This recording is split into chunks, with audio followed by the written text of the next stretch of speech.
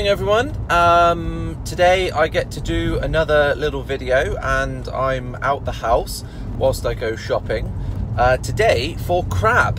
Um, so a friend of a friend uh, who something to do with um, seafood obviously uh, has got some surplus uh, crabs which he's been able to get up to Bristol now so I'm on my way to collect them I've got two coming I've no idea what to do with uh, with crab. They're alive, uh, which means they've got to be dispatched. Um, and uh, yeah, today's video is all about how I do that. Okay, so we just got back, and these are the biggest bloody crabs I've ever seen. Um, they're from Salcombe Fish and Shellfish Limited, um, so thanks very much for them. And I'll show you now. Just look at the size of that crab. Absolute beast. It's so heavy. The size of that that claw. Um, I'm going to get this guy um, dispatched and then uh, get him in the pot. Okay, that's the crab gone now. Um, for anyone who doesn't know, you basically just put a screwdriver uh, down through this point here drive it through and then it's dead. So a little bit of nerve movement there. I've got the pan on the boil, however, I'm worried that it's not going to fit and that is the biggest pan that I have at the moment, so we shall see. So whilst I'm waiting for the water to come back up to temperature, I've noticed that this has definitely been a fighting crab.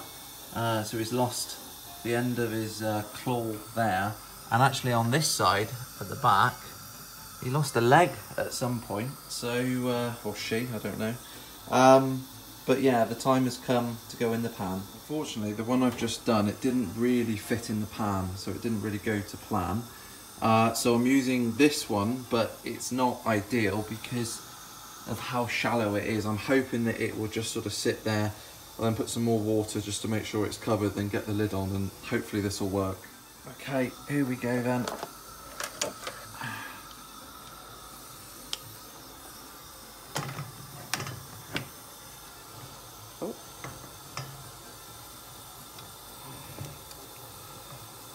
Yeah, it's not ideal.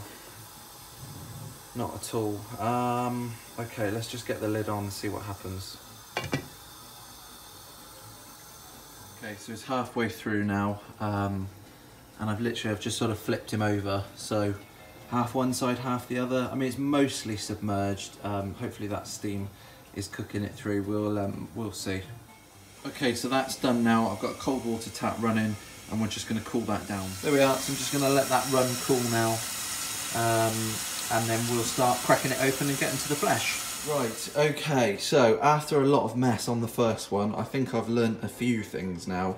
I really haven't got a clue what I'm doing. So I haven't got any uh, crab forks or anything like that, so I'm just using the end of the spoon.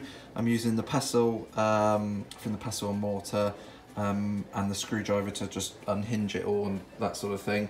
So I'm just going to put on a time lapse now and you can watch me fumble my way through this.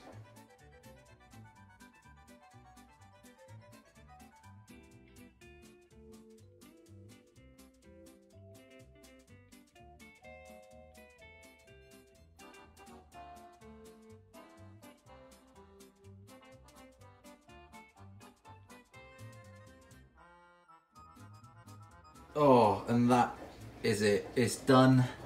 Uh, the claws are the best bit for me. This brown meat, um, that is not my friend. Um, not sure what I'm going to do with that. I'll find someone who likes that.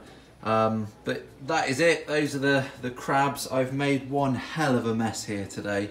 Um, so I better get this cleared up before she comes home and uh, absolutely annihilates me. Thanks so much for watching. Um, I hope you enjoyed that. The, the when I took the the shell, the head apart, I nearly threw up. Um, so um, this is delicious. I'm gonna love it. Uh, but right now, I just hate the thought of clearing all this up. But uh, thanks for watching. Please subscribe to the channel and uh, let me know what you think. And uh, no doubt I'll get all the comments coming through about how wrong I did everything. But so I just had some of that crab and it was so good so good so fresh obviously because it's just been uh, killed and cooked but I take it back. It was all worth it. It was all worth it.